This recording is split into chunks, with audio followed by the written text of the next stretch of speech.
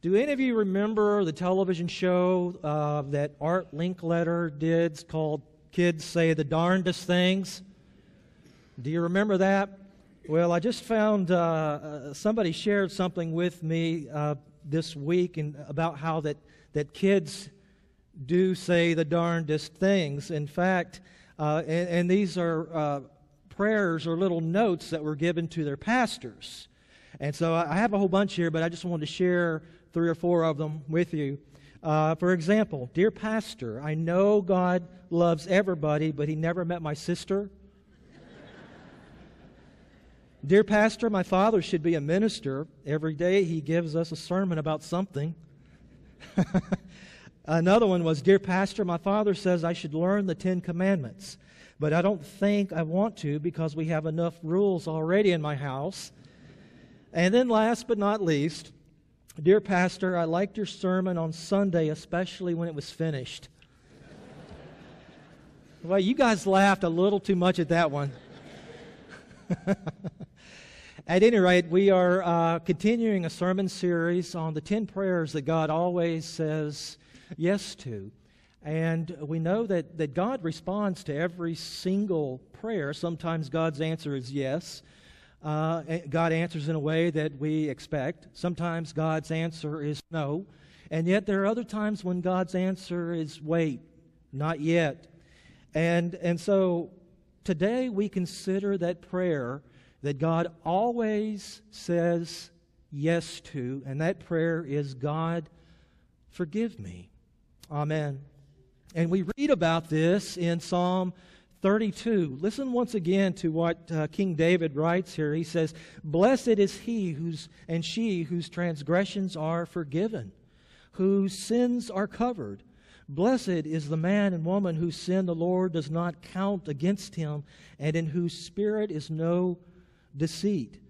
And again, this is coming straight from David's heart. I mean, he really struggled in his life. He struggled with sin just like you and I do as well. And so he realized that there was healing and wholeness that can be found in, in this forgiveness. And God wants forgiveness to be a reality in our lives. And if we would just pray that prayer, God, forgive me, God will always respond some way and somehow. However, there's a little disclaimer here. There's a catch to this to some degree. Um, a yes answer is conditional. Uh, God is only really, I think, going to say yes if there are three things that happen in our hearts. And, and I kind of talked about this a little bit uh, with the children. But the first thing is confession. We've got to own up to it. We've got to own up to our own junk. And uh, I mean, James talked about this quite a bit. You know, he says in uh, chapter 5, verse 16, he says, Therefore, confess your sins to each other and pray for each other so that you may be healed. The prayer of a righteous person is powerful and it's effective. So, being able to own up to it, and we read just a little earlier, 1 John 1 9, if we confess, if we confess our sins to each other. Or, I'm sorry, if we confess our sins, He is faithful and just and will forgive us our sins and purify us from all unrighteousness. And then, last but not least, we can go back to the Psalms. You know, Psalm 38, uh, verse 18. Here is David. He's saying, I confess my iniquity. I am troubled by my sin. So he was troubled by it. So confession is absolutely essential. And if we don't confess it, then we just harbor it. We keep it inside of us, and it becomes like a poison that poisons our very, very soul. Uh, I've heard it said that unforgiveness is like drinking poison and hoping the other person dies. Right? Exactly. That's, that's what it is. I mean, that's, that's the way that uh, unconfessed sin is in our in our lives. I mean, think about this. What would, what's the first thing you would do if you were, say, bitten by a snake? What would you do? You would want to get the poison out, right?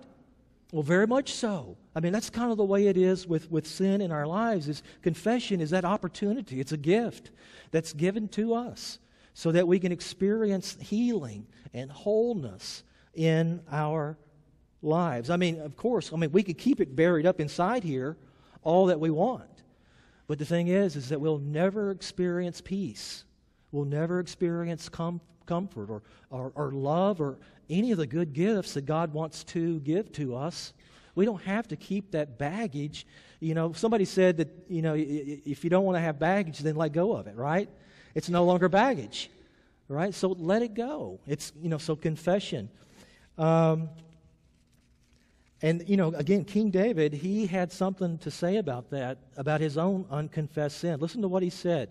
He says, When I kept silent, my bones wasted away through my groaning all day long. For day and night your hand was heavy upon me. My strength was sapped as in the heat of summer. And then he goes on to say, Then I acknowledged my sin to you. He did something about it. And he said, And I did not cover up my iniquity. I said, I will confess my transgressions to the Lord, and you forgave the guilt of my sin. That's how God responded to King David. So, confessing sin to God, get that poison out. It's, it doesn't belong there. I think of the great theologian, St. Augustine. He says the confession of evil works is the beginning of good works in our lives. So, God begins that good work in our lives. So, so confession is extremely important. And the second thing is repentance. And you've heard me talk quite a bit about repentance, and the, and the word that's used in the, in the New Testament in the original language is, is metanoia. And that just simply means changing the way that we think. The way that we think about sin, the way that we think about God, the way that we think about others, the way that we think about our enemies. It's changing the way that we think. It, we have to have that ingredient as well. And if we have a change of mind, we'll eventually experience a change of heart.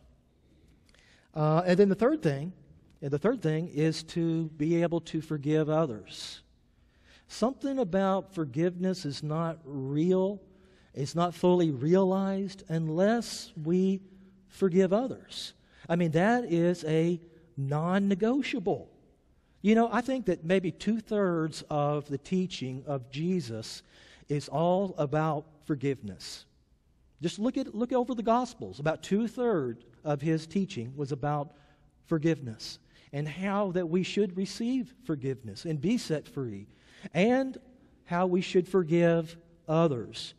Um, you know, it was once said, maybe you've heard this before, is uh, to err is human, uh, but to forgive is out of the question. No way. Never going to forgive that person for what he or she did. It doesn't hurt that person, it just hurts us. You know, to hang on to that. Forgiveness is a gift that we give, well, not just to others, but it's, it's kind of a selfish gift too, because we give it to ourselves. It sets us, it sets us free. And it's not easy to do not by our own willpower. You know, there's no such thing really as willpower Christianity. It, does, it never works. But, and Gandhi knew this. Mahatma Gandhi, he said this. He says, The weak can never forgive. Forgiveness is the attribute of the strong. That's hard to do, but it's, it's not through our own strength. It has to be through the power and the presence of the Holy Spirit that is alive and well in our hearts. That's where our true strength comes from. So, the key, I really think, to a happy life, a happy marriage, happy anything, is, is, is forgiving. Living is forgiving. And to constantly do it. And sometimes it's a process. You know, sometimes uh, it, it takes many, many times. You know, that's why Jesus said, you know, 70 times 7. You know, sometimes it is a process. And when you forgive others, remember, that doesn't excuse the sin. It doesn't excuse it, it doesn't make it right. But forgiveness, again, is a non negotiable. So in, Scripture, we read time and time again throughout the New Testament about how we are to forgive others. Uh, listen to, to the words of Jesus. He says, for if you forgive men when they sin against you, your heavenly Father will also forgive you. But if you do not forgive people their sins, your Father will not forgive your sins. So you see how there's, there's, a, there's a connection there between uh, forgiving others and realizing God's forgiveness in our lives. Uh, also, here's Jesus once again. He says in Luke chapter 6, But I tell you who hear me, love your enemies. Love your enemies, do good to those who hate you, bless those who curse you, and pray for those who mistreat you. Did you hear those words? Did I lose you there? Love your enemies. And one of the ways that we love them is by forgiving. Forgiving them.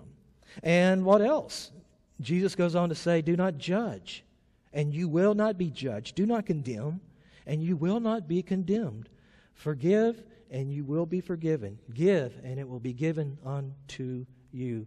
I mean, there are so many passages that say, Look, this is a gift that I'm giving to you so that you would, can experience healing and wholeness. And, you know, the word salvation, you know, in the Latin is where we get that word salve, right? Which means salvation just simply means healing. And we all need healing. We all experience brokenness in our lives. I do, and so do you, and those around us. But forgiveness, that's one way for us to experience that, that healing salve that only the divine physician can give to us.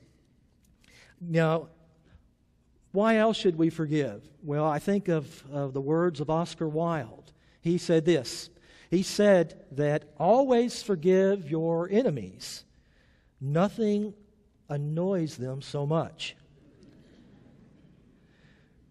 So, how many times should we forgive? As many times as it takes. As many times as it takes. And you know, the thing about God, God has a way of, you know, we just maybe prayed a little bit earlier, as far as the east is from our west, from the west, so have our sins been separated from us. I mean, God, God forgives. And guess what else? God forgets. That's the way it works with God. It's thrown into the sea of forgetfulness, and there it is remembered no more. And that's the way, again, it works with God. You know, the Apostle Paul said, Love keeps no record of wrongs. What's done is done. So, what are the results? If we really uh, choose to forgive and to receive the forgiveness, what do we get? What do we get in return? Well, number one, we get an inner peace. Uh, we have a peace which passes all understanding, the Apostle Paul talked about. And um, we also receive a kind of divine rest. Jesus says, Come to me, all of you who are weary and carrying heavy burdens, and I'll give you rest. There's a rest that comes from it. And last but not least, there's a freedom. We're, we're, we're set free from, again, those things that, that hold us in bondage. Maybe something that we've held on to for, for years, and it's still there. Well, we have an opportunity to experience uh, freedom. All right, now I want to close with this. And uh, so, does um, does anybody know what holiday is celebrated on January first? Nobody knows. New Year's Day, right? Does anybody know what holiday from the balcony? I want to hear from up here. You know, uh, um, from February the fourteenth.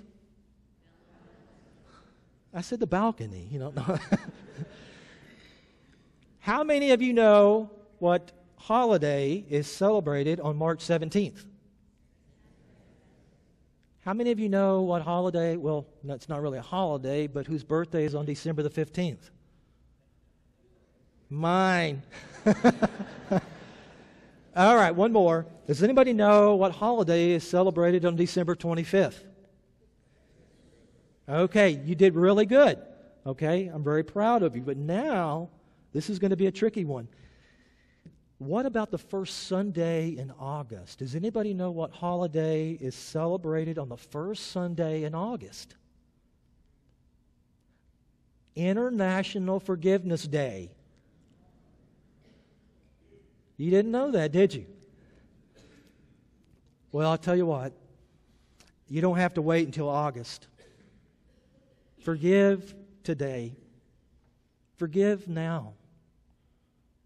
say to God today and to each other, Please forgive me. Amen.